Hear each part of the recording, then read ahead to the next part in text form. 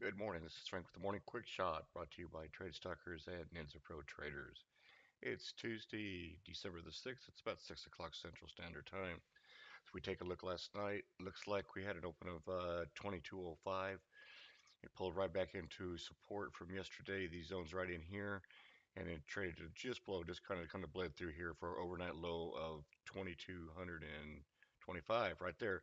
And it gradually worked its way back up to the zone, the 24 hour VWAP back into this open. And now we're just consolidating right in here. We had an overnight high of 2206.50. So what do we got in store today?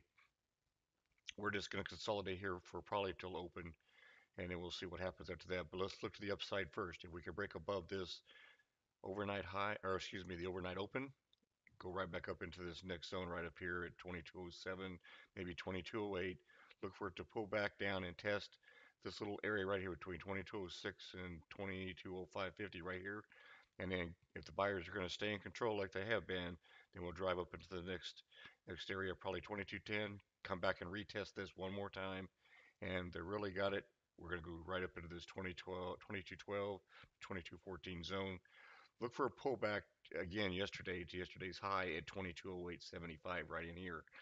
And if we can hold this position here, then we're just going to continue to move up. It could be a slow grind up. It could just blow up today. Uh, just be aware for both situations. Move on up to the uh, 2212 to 2214 area again.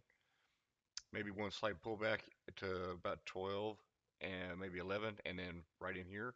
And then we're going to go straight up and move into the next zone. And that's not going to go straight, but just be aware we get about the 2216. Look for it to come back and test this zone. Somewhere between 2214, 2212 and then right on up here into the 1820 zone area. Another zone up here, 24 to 26, but we'll take a look at market profile, see the likelihood of that happen. Now, what happens if we consolidate here and open and then drop back down into this zone? More than likely going to come down and cross below this white line, this 24-hour VWAP, and come down and hit this support at 2200. Look for it to come back up and test this one more time, right around 2203, and then if the sellers are going to step in today, we're going to drive straight down into the top of this zone 98, which is the low of yesterday. Not a low, but um, uh, one of the consolidations areas that we just consolidated all yesterday. So look for that little bit of uh, support right in here at the top of that zone. It'll bleed through into here. Now, one more time, test up into this area somewhere between 22 and then the 2201 right here, 50. And if the sellers have really got control, we're going to push it right back into the bottom of this zone from yesterday gives our support right here at the 96 level. Come back up and test just right in here about 99 to, to 99.25 area. Coming off this structure low right over here. And then it's going to head right back down to the next zone.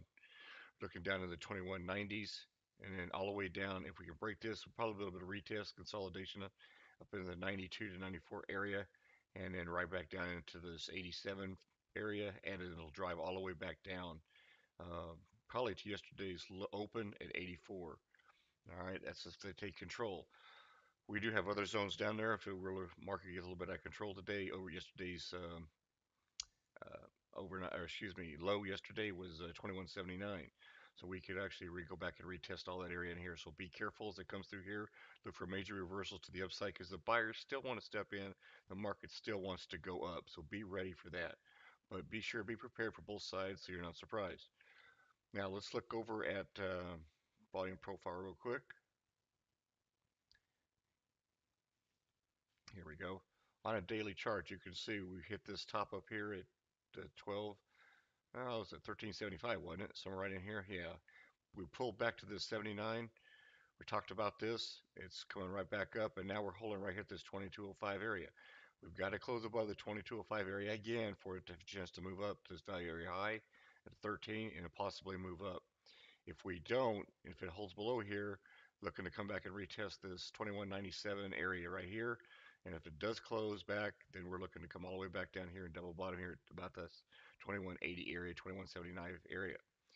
On a four hour chart, you can see a little bit clearer what it's done here in the consolidation. Pulled back to this. You can see we're just going sideways right here at this area. So we could pop up to this area one more time, pull back, and before we even have a chance to go back up. This is a little bit bigger picture. Keep your eye on it. If you have any questions, contact Frank at TradeStalkers.com and have a great day.